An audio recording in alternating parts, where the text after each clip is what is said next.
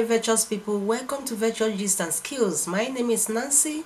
In today's skill matters what we have for you is how to make ghanaian waakye made by a nigerian woman which is me.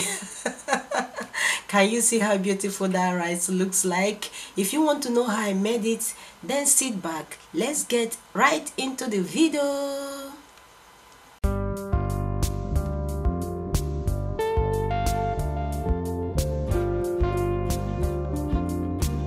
Waakye is one of the Ghanaian best food made with rice and beans. The recipes we have for the Ghanaian waakye are 1. Our 2 cups of rice. This is our Nigerian normal rice. You can use any rice of your choice, okay? This is our Nigerian normal black eye beans. You can use any beans of your choice, okay?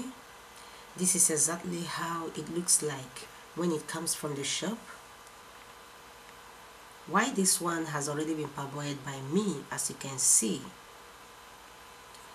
The Ghanaians don't parboil their beans like this but rather they soak their beans from 1 to 3 hours to get rid of excess gas. But as a Nigerian we parboil our beans to get rid of so much chemical during storage. This is my salt. This is my millet leaves. You can also call it waakye leaves I have just three strands here. It is a bit lengthy. I am the one that cut it short short so that it will enter my plate, okay? Right now, as you can see that my water is on the heat already. What I want to do is to add my washed millet leaf inside the water and allow it to boil so that I will use the water, okay? On this stage, you can add your baking soda if you want the color of the waakye to be so booming. But for me, I'm okay with this. The next thing I'm gonna do is to cover my pot and allow it to boil, okay? Can you see that the water has started boiling? And can you also see that the color of the water has changed? It is the work of that millet leaf. What I want to do now is to turn off the heat and then remove the millet leaves from the water so that I can use it and cook my waakye. Right now I want to add my millet leaf water inside my clean pot.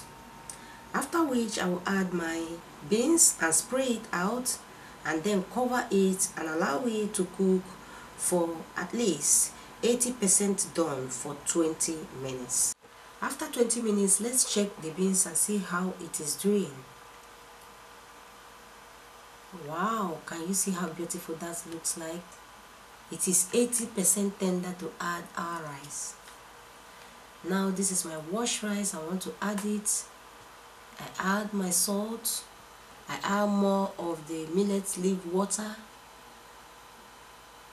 And I stay together and I cover my pot and allow it for 25 minutes on a medium heat. Right now, after 25 minutes, let's check the rice we added if it is tender. Wow, the rice is tender. Now I will stir it a bit and I will introduce my foil and cover it on a low heat and I will allow the little water in it to dry well for 3 minutes. As the waakye is drying well on a low heat, let me walk you through the ofada stew that we'll be using to enjoy the waakye today. For the Ghanaians, they use their waakye stew or their shito, which is also very nice. But as a Nigerian, I am going to use our own designer stew to enjoy it. Can you see the mede in the stew? Mmm, this is lovely. After 3 minutes guys, let's check if our waakye is finally dried.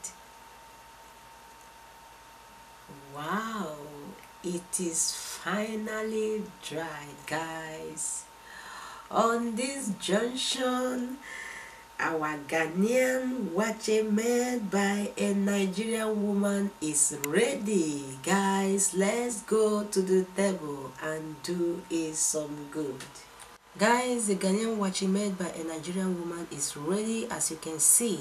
I am going to serve it with our Nigerian ofada stew with assorted meat including egg. I have kelewele in there, I have some spaghetti and cucumber as well.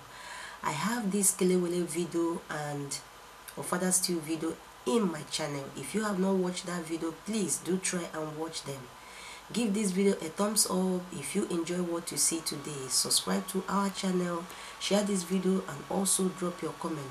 For those of you living in the diaspora you can get the millet leaf in any african shop or better still you can use a baking soda to achieve the beautiful color. Try this recipe and give us your feedback. This is all we have for you for today. Thanks for watching and we will see you in our next one. Bye bye